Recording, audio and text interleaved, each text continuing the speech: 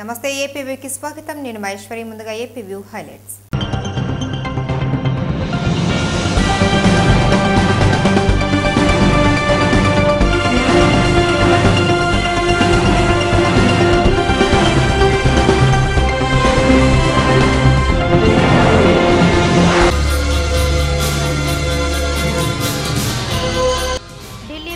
పయనానికి సిద్ధమైన రాష్ట్ర విభజన బిల్లు తుది మెరుగులు దిద్దుతున్న అధికారులు. విభజనను అడ్డుకునేందుకు సీఎం ఆఖరి పోరాటం సహచర మంత్రులతో చర్చలు. సదుపాయాల కల్పనలో ప్రభుత్వం విఫలం తీవ్ర ఇబ్బందులు ఎదుర్కొన్న వీఆర్ఓ వీఆర్ఐ విద్యార్థులు.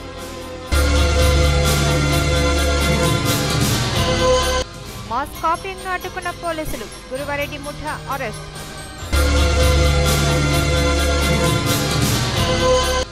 ఐటీ ఉద్యోగి శ్రీలత ఆచూకీ లభ్యం. కిడ్నాపర్ల చెర నుండి ఇంటికి చేరుకున్న బాధితురాలు.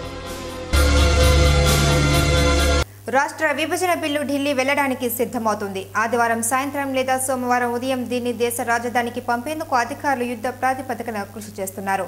బిల్లును ఇప్పటికే మూడంచెలుగా క్రోడీకరించారు. ఆదివారం సాయంత్రానికి తుది మెరుగులు దిద్ది ఢిల్లీకి తీసుకువెళ్ళేందుకు సమాయత్తమవుతున్నారు. రాష్ట్రానికి కేంద్రానికి సమన్వయకర్తగా వ్యవహరిస్తున్న సీనియర్ ఐఏఎస్ అధికారి రామకృష్ణారావు ఆధ్వర్యంలో నలుగురితో కూడిన బృందం బిల్లు దానితో పాటే అభిప్రాయాలను ఢిల్లీ తీసుకెళ్ళేందుకు సిద్ధంగా ఉంది. ఇవన్నీ హైలీ కాన్ఫిడెన్షియల్ కావడంతో నిబద్ధతగా వ్యవహరించే నలుగురితో ప్రభుత్వ ప్రధాన కార్యదర్శి పీకే మహంతి ప్రత్యేక బృందాన్ని ఏర్పాటు చేశారు.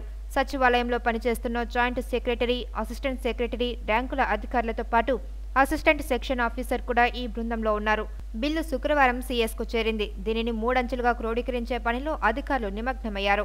అసెంబ్లీలో సభ్యులు మాట్లాడే సమయంలోనే ఎప్పటికప్పుడు వారి అభిప్రాయాలను అక్కడి సిబ్బంది తర్జుమా చేశారు. దీంతో పాటు అసెంబ్లీ ప్రొసీజర్స్ను బిల్లుపై సభ తీర్మానం మొత్తం కలిపి అసెంబ్లీ కార్యదర్శి సాధారం సిఎస్కు పంపించారు. తొలి అంచెలో అసెంబ్లీ తీర్మానం ప్రతులను రెండో అంచెలో అసెంబ్లీ నిబంధనలను మూడో అంచెలో సభ్యుల అభిప్రాయాలను ఉంచుతారు. వీటన్నింటితో కూడిన బిల్లు దాదాపు ఐదు వందల పేజీలకు పైనే ఉంటుంది. వీటన్నింటినీ స్థానిక భాషలైన తెలుగు ఉర్దూలలో నాలుగైదు సెట్లుగా తయారు చేస్తున్నారు. ఈ ప్రక్రియ మొత్తం ఆదివారం మధ్యాహ్నానికి పూర్తయితే ఆ సాయంత్రం రాత్రి వరకు పడితే సోమవారం ఉదయాన్నే వాటిని తీసుకుని ఈ బృందం ఢిల్లీకి వెళుతుంది. నాలుగైదు సెట్లలో ఒకటి అసెంబ్లీ కార్యదర్శికి మరొకటి సీఎస్కు ఇంకొకటి గవర్నర్కు అందచేయనున్నారు ఢిల్లీకి తీసుకువెళ్ళిన తర్వాత సోమవారం ఉదయం పదకొండు గంటల్లోపు రాష్ట్రపతి కార్యాలయానికి చేరవేస్తారు. రెండు మూడు రోజుల్లో ఆయన బిల్లును చదివి హోంశాఖకు పంపించనున్నారు. రాష్ట్ర విభజనను అడ్డుకునేందుకు సీఎం ఆఖరి పోరాటానికి సిద్ధమయ్యారు. ఢిల్లీ ఢిల్లీ చేరిన నేపథ్యంలో హస్తిన వేదికగా పోరాటం చేయాలని భావిస్తున్నారు. క్యాంపు ఆఫీస్లో సీమందరకు చెందిన సహచర మంత్రులతో సమావేశమైన కిరణ్ బిల్లును అడ్డుకునేందుకు ఉన్న అన్ని మార్గాలపై చర్చించారు. రాష్ట్ర విభజనను అడ్డుకోవడానికి ద్విముఖ వ్యూహాన్ని అనుసరించాలని ముఖ్యమంత్రి కిరణ్ కుమార్ రెడ్డి నేతృత్వంలో జరిగిన మంత్రుల సమావేశం నిర్ణయించింది. చంద్రబాబు విజయలక్ష్మి అంగీకరిస్తే వారిని కూడా కలుపుకొని సీమాంధ్రకు చెందిన అఖిలపక్ష బృందంతో రాష్ట్రపతి వద్దకు వెళ్దామని అన్నారు. వారు కాదంటే కేవలం కాంగ్రెస్ నేతలమే రాష్ట్రపతిని కలుద్దామని అన్నారు. విభజన బిల్లును ఆంధ్రప్రదేశ్ అసెంబ్లీ తిరస్కరించినందున రాజ్యాంగబద్ధంగా వ్యవహరించాలని కోరారు. ఆ ప్రయత్నం ఫలించకపోతే న్యాయ పోరాటం చేద్దామని అన్నారు. సుప్రీంకోర్టులో కేసు వేద్దామని అది ప్రభుత్వం తరపున ముఖ్యమంత్రి వేయాలా అన్నది నిర్ణయిద్దామని తీర్మానించారు. క్యాంపు కార్యాలయంలో శనివారం సీఎం కిరణ్తో పిసిసి చీఫ్ బొత్స సత్యనారాయణ మంత్రులు ఆనం రామనారాయణరెడ్డి రఘువీరారెడ్డి గంటా శ్రీనివాసరావు శైలజనాథ్ సి రామచంద్రయ్య వట్టి వసంతకుమార్ శత్రుచర్ల విజయరామరాజు అహ్మదుల్లా పసుపులేటి బాలరాజు ఎంపీ హర్షకుమార్ తదితరులు సమావేశమై సుదీర్ఘంగా చర్చించారు. విశ్వసనీయ వర్గాల సమాచారం మేరకు సమావేశంలో ఢిల్లీ పర్యటన రాజ్యసభ ఎన్నికలు ఓట్ అండ్ అకౌంట్ బడ్జెట్ తదితర అంశాలపై సుదీర్ఘంగా చర్చించారు.